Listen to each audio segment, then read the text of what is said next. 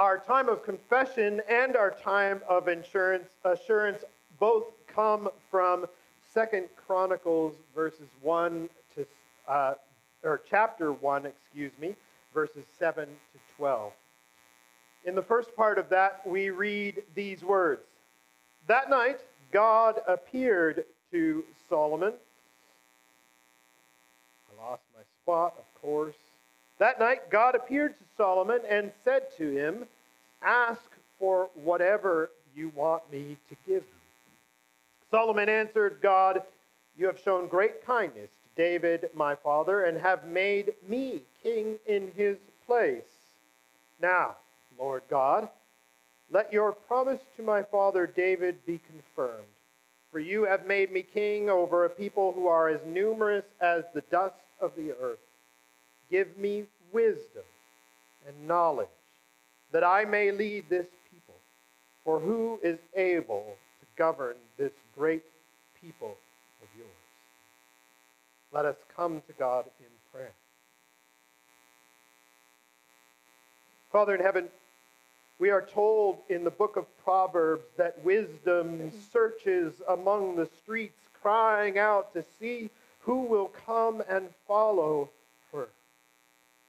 her. And we hear in this story that Solomon, though, though not a perfect king or a perfect man by any stretch of the imagination, nonetheless seeks out wisdom.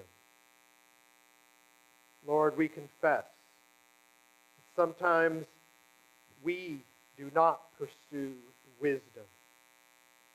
We do not pursue knowledge and understanding. So, Lord, we pray that you will forgive us for those times in which we have acted foolishly. We have spoken foolishly. We have not sought out wisdom or knowledge, but instead have plunged in headfirst like a, like a bull in a china shop. Lord God, please hear us as we confess to you this morning, as we examine ourselves, and as your Holy Spirit opens up to us. Hear, O oh God, as we confess to you those ways in which we have not sought out your wisdom.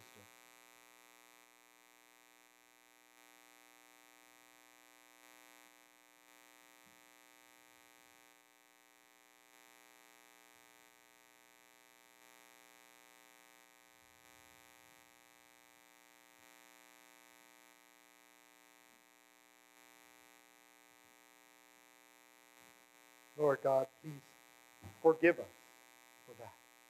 We ask, O oh Lord, here and now, we ask, O oh God, for wisdom and knowledge, that we may lead one another in your name and as servants, as servants just like Jesus, you were here on earth. May we, with that wisdom, that wisdom of love and service, that wisdom that comes from you, O oh God. May we grow and serve your people and this world in your name and for your glory. Amen. Carrying on with Second Chronicles, this is what God says to Solomon in response.